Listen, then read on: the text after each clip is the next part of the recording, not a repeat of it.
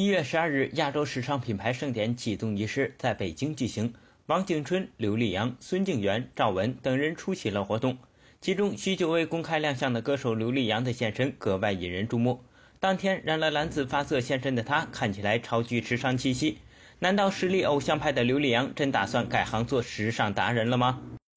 呃，其实时尚是我一直很喜欢的一个领域，然后也是一直都希望把音乐跟时尚相结合。那现在就是比较有更多的机会来自主做自己的音乐，所以其实我在做这个《世界看我》跟《Runway》这两首歌的时候，都是呃，也都是在怎么讲，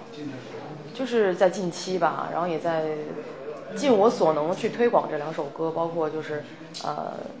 我觉得就是就是在做我想做的，把时尚跟。音乐相结合，所以接下来的话，我还是会去做一些这样的尝试。虽说刘力扬依旧要坚持做自己老本行，可随着大多数音乐人转战幕后的热潮，刘力扬也自不例外。这不，就于活动当天，刘力扬就表示要转战幕后音乐剧。因为明年的话，我也计划，呃，以制作人的身份在幕后做一些大型的舞台音乐剧，就是把表演跟音乐结合起来。因为我现在想做的一些东西都是比较跨界的，collaboration 的东西，就是。不是说单纯的一个歌手或者单纯的一个表演，因为我觉得这样的这种形式很难满足我自己对自己的挑战。就是我觉得在娱乐圈当中也很少有就是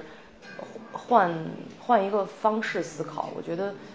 呃，我觉得我觉得就是玩一些就是老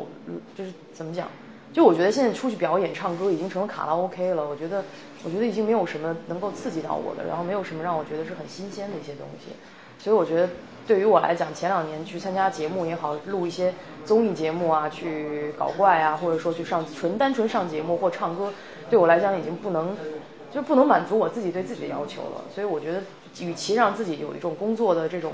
倦怠期，不如自己找一些自己喜欢的点，然后让自己有些有一些全新的这个表现给大家。我觉得，酷六娱乐北京报道。